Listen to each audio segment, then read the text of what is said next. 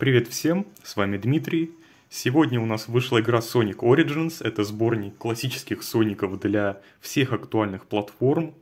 Для свеча, для PlayStation, для Xbox, для компьютера, для всего она вышла. И давайте посмотрим, что из себя этот сборничек представляет. Итак, как вы можете видеть, во-первых, добавились анимированные заставки. Это была заставка к, саму, к самому сборнику. Также у нас есть заставки к началу и к концу каждой игры, то есть ко всем Соникам. Ну что же, давайте посмотрим, какие игры вообще здесь есть. Sonic 1, Sonic CD с Sega Mega CD, Sonic 2 и Sonic 3 and Knuckles, то есть сразу соединенная версия. Все эти игры у нас так или иначе касаются консолей Sega Mega Drive – даже Sonic CD, по сути, к аддону для Mega Drive выпускалась. Так что это такой сборник с Mega Drive, по сути, но со множеством, множеством нововведений. Итак, давайте посмотрим, что это за нововведение. Во-первых, мы можем играть в игры в классическом режиме. Давайте я продолжу игру. В классическом режиме у нас игра запускается в разрешении 4 на 3, то есть вы можете видеть, что у нас есть поля по краям. Рисунок, кстати, полей мы можем менять э, в настройках. Можете поставить их черными, можете там другой дизайн поставить. То есть здесь уже на ваше усмотрение. Ну, собственно, здесь ничего такого особенного нет. Мы просто играем э, в Соников такими, какими они были, когда выходили для Sega Mega Drive. Единственное отличие в том, что вы можете делать спин дэш. Этой особенности, способности Соника не было в первой части, ее добавили только во второй, э, так что э, вот это, пожалуй, единственное нововведение здесь, именно в классическом режиме. Но я считаю это хорошее нововведение, потому что без спиндеша порой было прямо совсем худо в первой части. Ну, знаете, когда надо куда-то подняться, а у вас энергии не хватает. Это вот, например, здесь, смотрите вот это такой классический момент, то есть в классической игре вы не могли забраться наверх, вам надо было как-то разогнаться вот отсюда, а теперь вы можете просто разогнаться на месте и подняться, все. Мне это очень нравится, хорошо, что они оставили спиндеш. Вот, нажимаем паузу, и здесь у нас есть 4 возможности. Кстати, сенсорный экран здесь работает. А, можем вернуться, например, на титульный экран, давайте. Как вы можете видеть, здесь не просто русский язык, здесь русский язык с буквой Ё.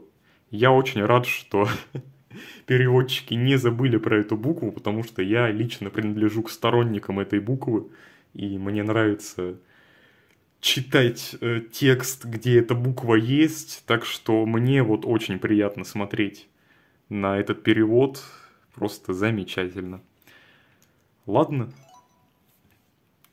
ну, собственно, предлагаю выйти в главное меню и посмотреть, что у нас есть еще. Мы посмотрели сейчас с вами классический режим, еще у нас есть юбилейный режим. Давайте продолжим. Сохранения, кстати, разные для этих режимов. Ну, как вы можете видеть, собственно, различия очевидны у нас растянули изображение. Ну, его не просто растянули, разумеется. Его как бы прибавили с двух сторон, и у нас теперь разрешение 16 на 9. То есть, как, как и должно быть, по идее, на Nintendo Switch и на всех актуальных консолях. 16 на 9 это такое самое стандартное, пожалуй, разрешение сейчас. Вы видите больше информации, то есть по краям у вас больше помещается, поэтому, безусловно, стало приятнее играть. Вот, например, сейчас я буду дольше видеть эту лавовую волну.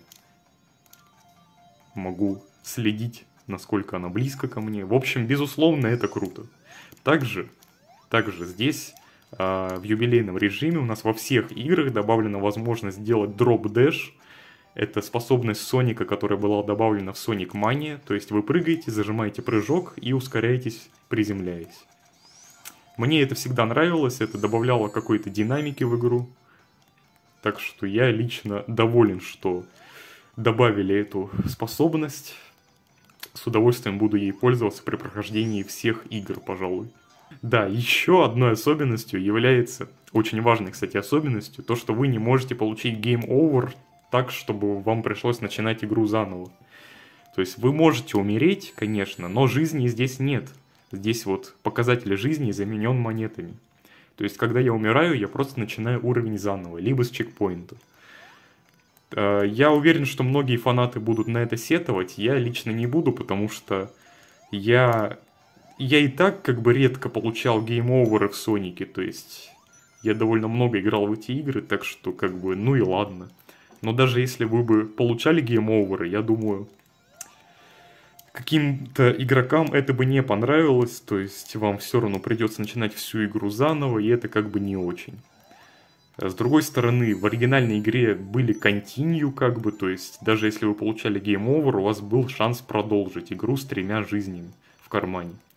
Так что, по сути-то ничего не изменилось. У вас по-любому появится continue к тому моменту, как вы в первый раз получите game over в классическом режиме. Так что я лично вот считаю, что то, что они убрали жизни в юбилейном режиме, это нормально. Ничего в этом плохого нет.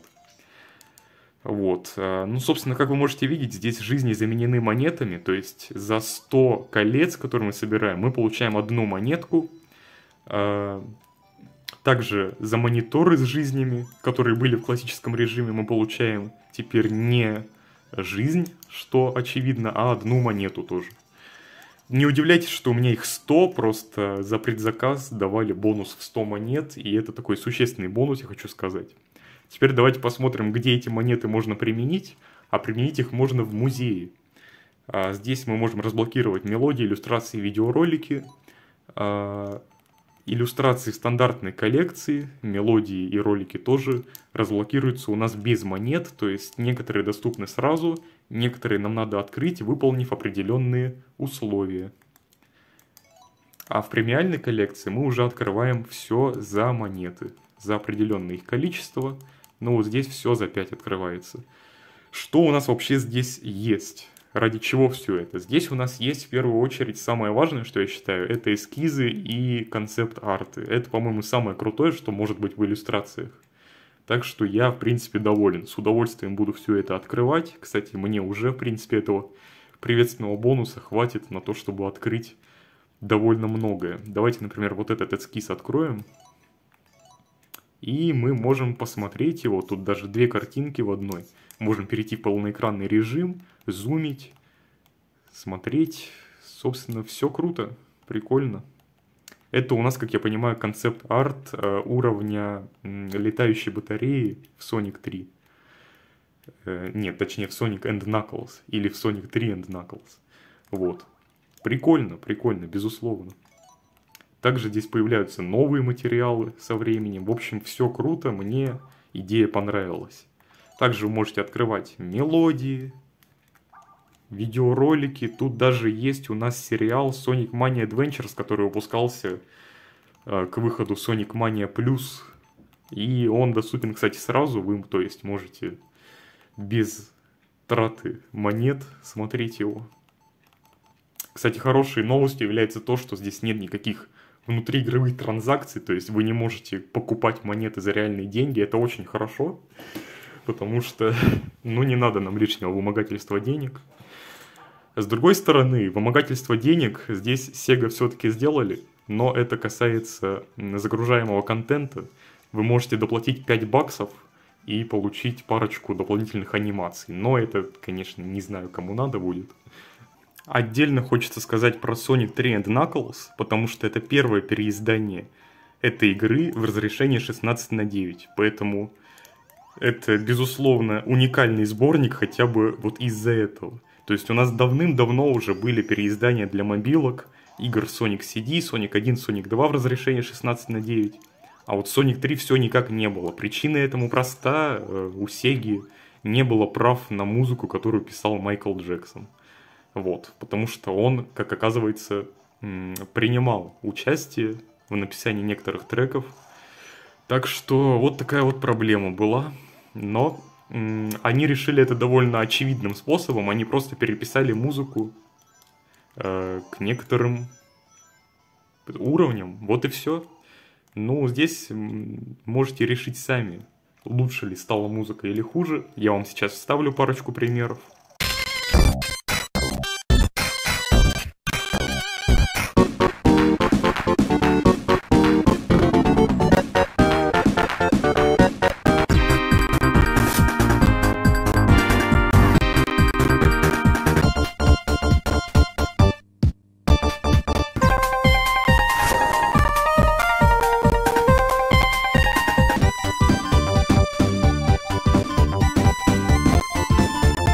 Я считаю, что старые треки, конечно, имели какую-то немножко другую динамику, но и новые неплохие, потому что, согласитесь, они имеют э, вот этот вот характерный мегадрайвовский звук, то есть у них прямо вот такое звучание похожее на оригинал, так что в принципе, в принципе, жить можно, ребята, жить можно. Не вижу причин особо жаловаться на это. Главное, что мы можем поиграть в эту игру по-нормальному в 2022 году. В разрешении 16 на 9. Так что это, безусловно, по-моему, перевешивает тот факт, что у нас не будет парочки оригинальных музыкальных треков. Ну, я не думаю, что стоит это говорить, но очевидно, что все игры работают идеально, то есть э, никаких здесь лагов, разумеется, нет. Все работает точно так же, как и на Мега Драйве. Так что здесь все в полном порядке. 60 кадров в секунду, и все замечательно. Ну, давайте вернемся э, в главное меню и посмотрим, что у нас есть еще. Так, в музее появились новые материалы. Еще у нас есть Sonic 2 и Sonic CD. Их я показывать, наверное, не буду. Э, можете посмотреть геймплей отдельно. Здесь ничего особенного, в принципе, не будет, потому что эти игры уже не раз выпускались в разрешении 16 на 9 для мобильных устройств, так что это мы уже знаем, как выглядит. А вот это было интересно посмотреть. Что есть еще? У нас есть еще режим миссий. В режиме миссии мы можем как ни странно, проходить миссии и получать за это монеты. Количество монет, которые вы получите, будет зависеть от того, на какой ранг вы пройдете ту или иную миссию. Проходя миссии, вы открываете следующие и так далее. По-моему, это очень круто. Будет интересно в это поиграть. Также на этом экране у нас появился сюжетный режим. Здесь нам предлагают пройти все игры подряд. Интересно, как я считаю, неплохо. То есть у вас подряд будут заставки идти, подряд игры идти. Надо будет тоже попробовать. Э, вот. Э, также стоит упомянуть, что здесь есть отзеркаленный режим. Э, он работает только с юбилейным режимом, но это круто. То есть давайте попробуем. Здесь еще особенность юбилейного режима в том, что нам предлагают выбрать персонажа. То есть мы можем играть в любой игре за любого персонажа, Соника, Тейлза или Наклза. Давайте начнем игру за Наклза. Итак, это у нас отзеркаленный режим. это необычно. Нам надо пробегать теперь игру не слева направо, а справа налево. Вот и все отличие. Ну, э, это будет интересно попробовать. То есть все уровни как бы теперь совсем по-другому ощущаются безусловно, то есть э, прямо вот так вот сходу поставить их в соответствие с обычными правосторонними уровнями уже не получается, они все равно воспринимаются как-то по-новому. И последний такой момент, который мне осталось вам показать, это режим битв с боссами. Он есть для каждой игры. А, давайте посмотрим его за Тейлза для Соника 2. Собственно, здесь у нас все как бы поменялось. Вот мне даже колец не дали все это работает, э, казалось бы, в юбилейном режиме, но у нас есть жизни, то есть это совсем другой все-таки режим. Здесь у нас не классическая игра, здесь у нас просто такой boss rush. Ну, как бы вот я умер, у меня осталось две жизни, то есть здесь уже game over получить вполне реально. То есть у вас, видимо, будет только три жизни на всех боссов из одной игры. Ну, в общем-то, круто. Давайте сейчас пройдем этого босса и посмотрим, что э, за это нам дадут. Ну, собственно, это было довольно очевидно. Нам дали просто возможность продолжить. Вот и все. Никаких колец нам не дают. То есть, у вас просто считается время, у вас есть три жизни на все, и как бы, пожалуйста, выживайте. Ну, как я считаю, это крутой режим. Вот сейчас мы узнали, что происходит, когда потерять все жизни. Можно попробовать заново, но мы начинаем с самого начала, то есть вот здесь у вас реально жестко будет. Так что это, безусловно, такой э, хардкорный режим, который будет интересно попробовать пройти. Да, вот на камеру не очень удобно это делать. Собственно, вот такой вот у нас вышел сборник – а, как я считаю, это очень крутой сборник. как минимум за счет вот этой игры, но и все остальные игры, все заставки анимированные, все здесь, как я считаю, очень классно. То есть с удовольствием буду играть, с удовольствием буду проходить, попробую обязательно сюжетный режим. В общем, очень понравилось, э, так что думайте сами, стоит ли его покупать, учитывая, что он стоит 45 долларов без скидки в регионе США. Это довольно дорого. Это действительно очень дорого для сборника классических игр, но с другой стороны, здесь у вас куча крутых фишек, которых никогда не было раньше. Так что, в принципе, по-моему, эта цена оправдана. Ну вот мне было не жалко отдать эти деньги как минимум за э, ремастер Sonic 3. Ну я имею в виду растянутый юбилейный режим. Прямо с удовольствием пройду свою любимую игру в новом исполнении. Так что вот такой вот вышел у них э, сборник. Я доволен всем, я всем доволен. Перед тем, как мы закончим, я еще хочу вам рассказать, как я вообще купил эту игру в нынешних обстоятельствах. Ну, здесь мне помог один телеграм-канал, э, который называется Гифка. Они там продают э, карты пополнения для разных регионов, не только для Nintendo, но и для PlayStation. Мне не стыдно сейчас сделать бесплатную рекламу для них, потому что как я считаю, вот такие вот ребята в наше время просто спасают. Только не пишите мне в комментариях, что надо было прошить Switch и играть во все бесплатно в нынешних реалиях, потому что не надо было прошивать Switch. Ну, я просто не хочу это делать, во-первых, а во-вторых, как бы, ну где мне сейчас взять чип? Ну, я не знаю просто. Да идти куда-то чипировать вот не хочется. Короче, я не такой уж и пират в плане свеча. Здесь мне хочется все-таки на лицензии остаться. Не зря же я все это покупал во все это с удовольствием играл. Так что вот, в принципе, такой вот выход сейчас есть. Можете заглянуть в их телеграм-канал, тоже посмотреть цены актуальные. И, в принципе, покупать игры в нынешних реалиях. Вот. Выйдет, конечно, не один в один по курсу, но, принципе, наценка небольшая выходит. Особенно за регион США сейчас. Отличные цены.